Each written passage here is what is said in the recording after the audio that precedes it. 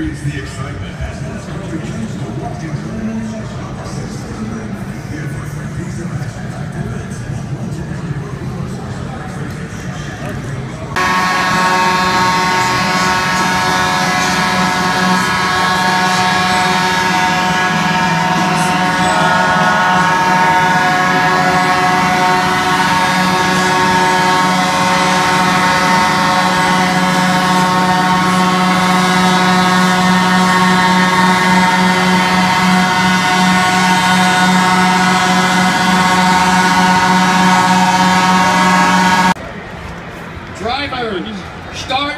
engines.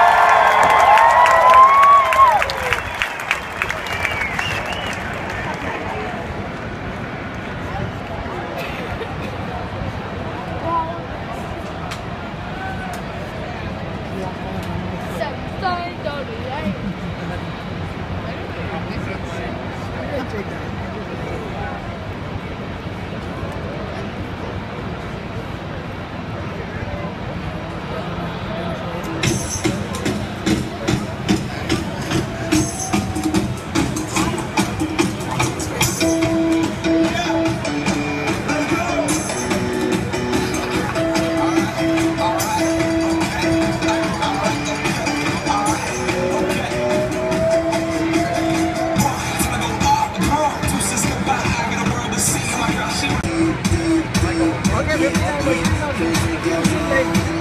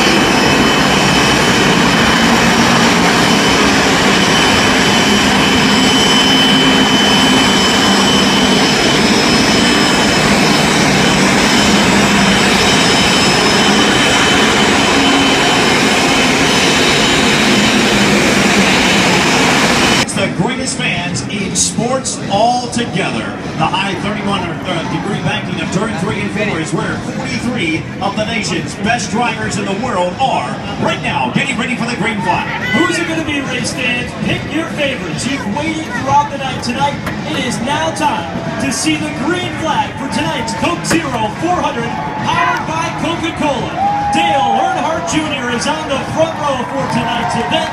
He shares it with car number three of Austin Dillon. Now, for the call of tonight's event, let's turn it over to our friends in the Motor Racing Network. For the call, Jeff Striegel, Joe Moore, and Rusty Wallace. Time The American Ethanol green flag is about to fly, and we are now ready.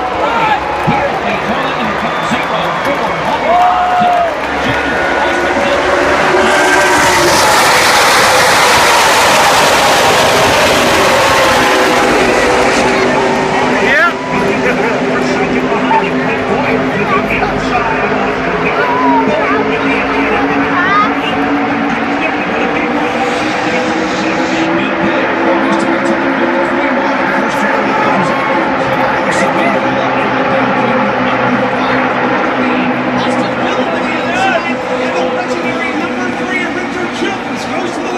Everyone getting rounded up to full salon for the first time here this evening at Daytona. Austin Dillon, high side of the racetrack, off will lead lap number one? We're about to find out. It looks like it's going to be Austin Dillon. He comes from the top of the racetrack, down across the nose of Dale Earnhardt Jr. And indeed, it is.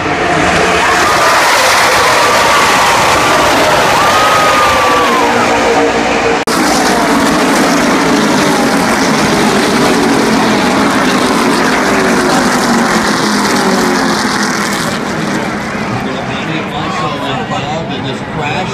Multiple cars involved. That didn't take very long. We're going to change in this right side down. He is in now put back around to the left side of it, and it's just going to be uh, two-time stop for Jimmie Johnson down in the middle. Johnson Jr. and Curry is in on the computer right now. Jimmie Johnson is in the he's going to quarantine. He's going to find this out of the Let's go. And Jimmie Johnson isn't going to get out first. It's going to be very close. Out of the corner.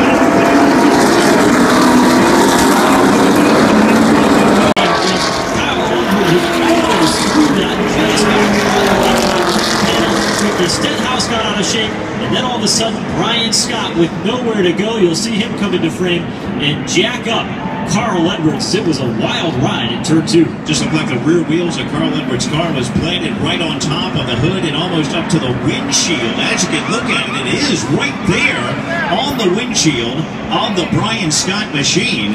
Eventually, Carl comes down. Brian Scott with significant front end damage, dropping down the banking, and his car eventually caught on fire. Actually, the crew has uh, taken care of that. Safety crew has extinguished that. Brian is out of the car, and he is headed into the infield care center. But again, very dicey move. Here's just another play, a replay from another angle on Sprint Vision. This is on board with Friday in practice. He's been dominant here throughout the evening.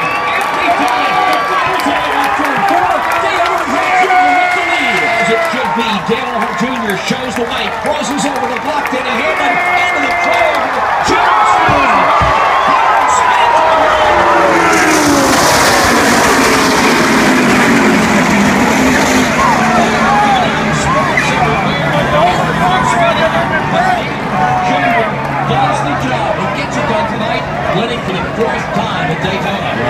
A uh, bad crash here to end this one. Austin Dillon upside down into the outside catch fence area.